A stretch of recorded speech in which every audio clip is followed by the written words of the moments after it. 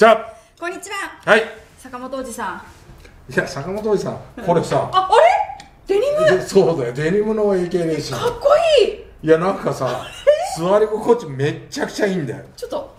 あ全然違うまた。全然違うだ私使っいやいちゃいますね。や革もいいけど、はこのデニム生地はなんかこうなんか包まれるようないうん。そんな感じがする。あいいですね。これを坂本に送ってやろうか包まれる感じ。なねこれすごいよやっぱ。いいじゃないですか。いしかもおしゃれですね。インテリアとしても。そうそうそうそれもそうなんですけど。坂本でしょ？はいそうです、えー、16打席が無安打ということで、もう大丈夫かと。いやいやはい。そのぐらいシーズン中、はい。まあシーズン夏場で16打席っていうのは、はい。まあない話じゃないからね。はい。だから騒ぐことはないんだけどもさ、はい。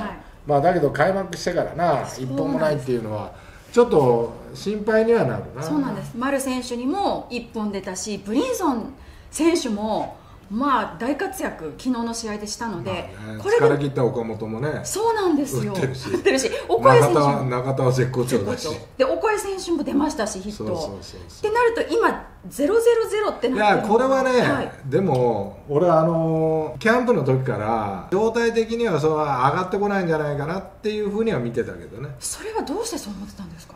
やっぱこう自分がやろうとしてることと首脳陣が求めてることのギャップがあるんだよね。首脳陣はいやそこで妥協したらダメだってもっと高みを目指せみたいな、いうところと坂本はいやこの現状でいいんじゃないかっていうその考え方のギャップっていうのが埋まらなかったから、多分 16, 打16打席無安打という。うん。で坂本にはやっぱここでもう一回奮起して、まあ、40発は打てなくても、まあ、30発以上のホームランを打てるようなそういう体に戻せと。だけど坂本は例えばその年齢的にだんだん飛距離も落ちてくる、うん。ね。だから20本ぐらいでいいんじゃないのという。その代わり3割近くは打ちますよみたいな。うん。いや2割8分でもいいから30発打てというその考え方がの溝が埋まってないと思うんだよね。そのこう迷いがうん。この無安打っていうのにつながっちゃってるっていうのも大きいんですまあ、うん、まあ、それもあるよね。まあ、それと、あの、俺も経験したし、まあ、大概の選手、まあ、原監督も経験してると思うけども、やっぱ分岐点ってあるんだよ。はいで、坂本はやっぱショートをずーっとやってきて、ショートしかやらないで、これだけ出場してる選手っていうのは、歴代いないんだよ。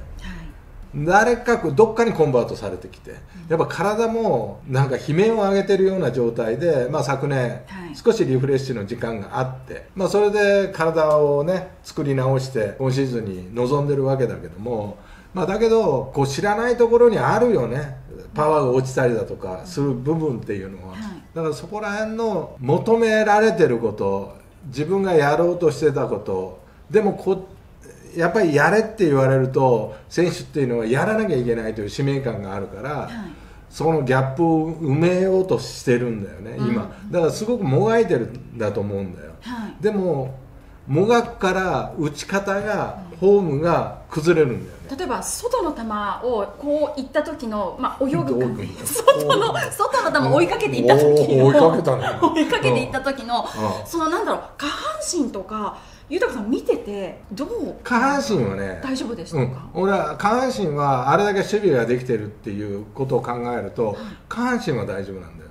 やっぱりね飛ばさなきゃいけないっていうと、はい。やっぱ下半身からの連動で上が状態がう動いてこなきゃいけないんだけどだけど過剰に状態を使って飛ばそうとするから、はやっぱブレが生じるよね。だから飛ばさなくていい。いやお前単打うん。単打100 150本でいいから打ってくれって言ったら、こんな16打席無安打っていうことはないよ。あそうなんですね。やっぱりこう飛距離っていうのを求められてるから、まあそういうことにもなってるしでもそういう姿っていうのは坂本の中でやっぱ首脳陣に見せなきゃいけないしそうだなもう坂本にお前任したというふうに言ってあげれれば多分ポンと出たりだとかすると思うけどね。メンタルがやっぱ一番大きいっていうことですか？そうするとバッターボックスの中で。あーやっぱりこう考え思考があるじゃない、まあ、それによってあの再現性っていうのが生まれてきて、やっぱ思考がどういうふうに頭の中で描いてるかっていうことがやっぱ描けないんだよね。だからそこにもがいてる、うん。でもそれをランクをちょっと一個下げれば、は描い。てるものが再現できると思うんだけども、はいやっぱ求めてるものが少し高いところを求めてるから、うんまあ、自分を鍛え直すためにね分岐点という意味でねもう一度っていうふうにあるから,、だからそこら辺でのそのギャップが埋まらないんだと思あとその16打席の中での例えば外野フライもう。うん。多かったりする。この、が昔だったらその外野フライがライナーあ外野ライナーとかうんが入ってたっていう。いやあの打ち方では入らないと思う、ううん。ん。ただヒットは生まれてるかもわからないけども、いやそれもやっぱ打球を打球というかボールを上げようとしてる節もあるしね。あとはやっぱ下半身を使いすぎてるね。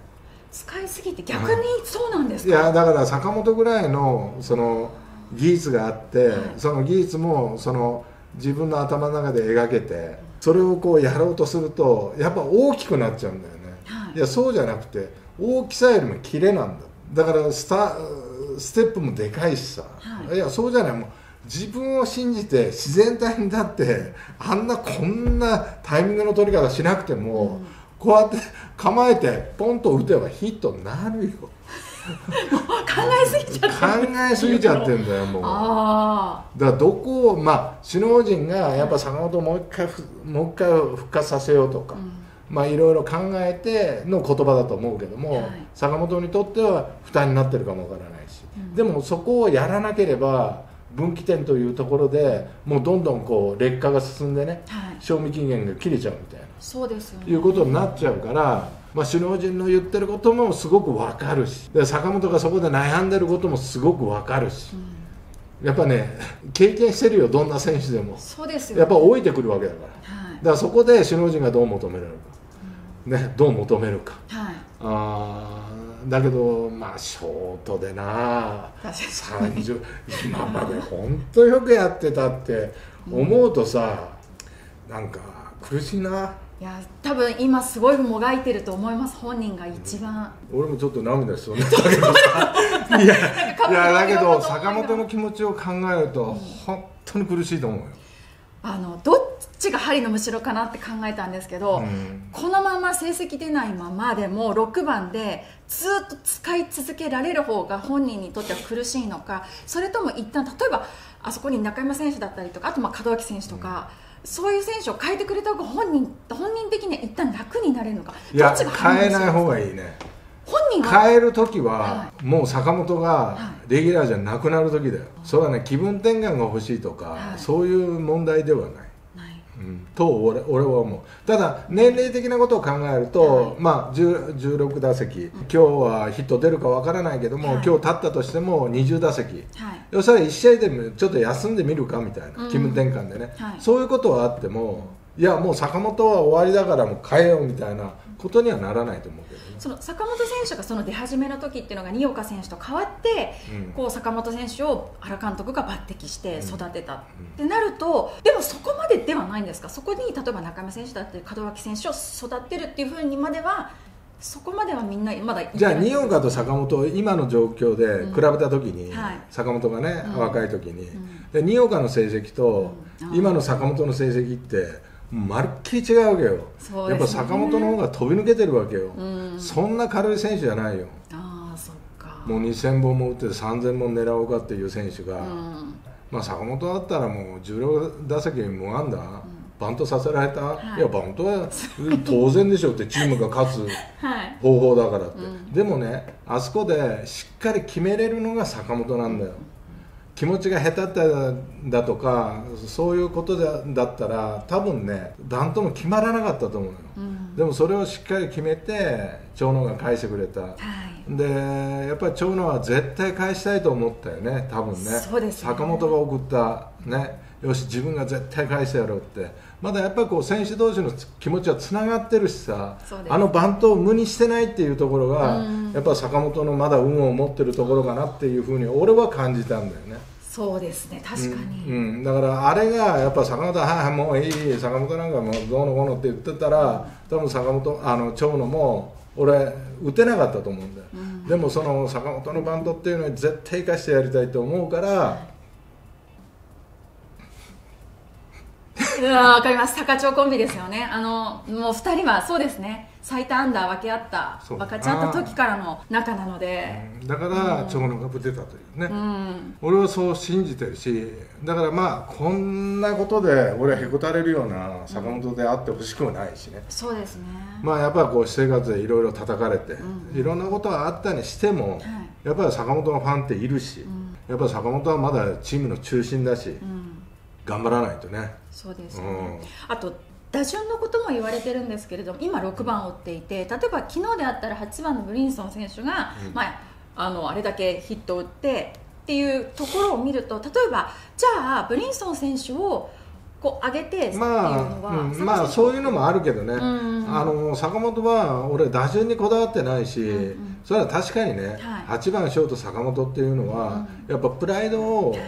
プライドっていうのが少しこぐられるかもわからないけども、でもそれは自分の今置かれてる立場成績だって思う思う人間だよ、うん。そしたらよしここから上がってってやろうっていう、はい。あの気骨のある人間だから、い。それはそれで期待をしたいけどね。そうですよね、うん。だからそうだな。まあ無安打、まあ確かに周りは騒ぐよね。もう坂本限界説とか。そうですよね。でまあトレードの話だとか。そうなんですよ。トレードっていうのもあるしその記事では日本ハムとトレードじゃないかっていうのも出てたりとか、まあうんまあこれはね選手だからわからないけども、はい。まあだけど坂本が、まあ、例えばもう気分転換したいと。って思えば、はい。まあ、出ていくかもわからないし、んこれはね原監督の今までの立ち振る舞いを考えると坂本と話すと思うよ。お前出た方がいいのかって、うん。出たいのかとか。いや出たいんだったらトレードしてやるとか、うん。まあ、そういうことだと思うよ、はい。多分俺はないとは思うけどね、うん。ないとは思うけども坂本がねいやもうあの気分転換させてくださいと。はい。もうこのままではここの場所に入れないとうん。いうふうになればトレードっていう可能性もあるけど坂本はやっぱりそこから逃げ出す男ではないと思うよ。うん、だからあのトレードっていう話噂、まあ、そういうのは多分ないと思うけどね。あのキャンプの時に原監督とも話されたと思うんですけど、まあ、言えないこともたくさんあると思うんですけども、原監督の思いの中にやっぱ坂本選手への今シーズンの思いだったり今後の思いっていうのもちょこっと話されたりとか。あこれはね原監督と話をしたけど、うん。坂本をキャプテンから外し、うん。チームリーダーチあのピッチャーのチームリーダー菅野を外したと。はい。やっぱ戸郷だって岡本だと、でもこれを下げたのは楽をさせるためじゃなくて自分たちをもうもう一回見つめさせさせるため。だからチーム全体をこう意識するんじゃなくて自分たちがもう分岐点に差し掛かってるっていうことをしっかり話をしたと、あうん、だからここら辺はやっぱもう這い上がってくるしかないよ。そうですよね。だから昨日原監督もその坂本選手もアンダーのコメントでもう坂本選手クラスになるとこちら側が手助けするようなことじゃないともう自分たちであとはもう超えていくしかないっていう。そうそうそう。だからそのためにキャプテンも外し、うん。投手のチームリーダーを外し、はい。ね、自分たちのことを考えてやれと。負担を軽くしてチーム全体のね軽くして本人のかあのチームへの献身的な気持ちを楽にし少しして、自分たちのことでしっかり成績を収めてみろと。うん。まあ確かに引導かもわからないけどもね。まあそうですね。厳しいようだあのね優しいようだけど逆を返せばここで成績が残残らないとお前たちは知らないぞって、うん。ねだからそういう、まあ、厳しいところには立ってるけどもね。はい。まあまあ頑張れというしかない。そうですよね、ただこれい本当一本出るとなんか戻ってきそうな感じするんですけどね。うん。まあこの動画を坂本が見てると隼人が。ちょっと連絡一本くれと。ちょっと LINE にまあこちらからね言うのもあれだし、まあ一回飯食おうかとは言ってるんだけどね。あそうなんですうんいつでも言ってくださいよって言うけど、まあ本人のコンディションがあるじゃない。そうですよね。変な時に誘っちゃう。まあだだだけど今かなとは思うんだけど、まあねなんか成績を見るとこれまでの坂本選手今までのずっと歴代のシーズンで4月ってすごい4月になると打率も上がっていいらしいんですよ。なので、まあ、4月入ったばかりなのでここからなんか調子取り戻してくるといいなっていう感じもありますよね、ただまあここで打てなかったら、まあ、4月中にねはい。やっぱ今シーズンもうちょっと沈んでいくかなっていうような感じはするけどね。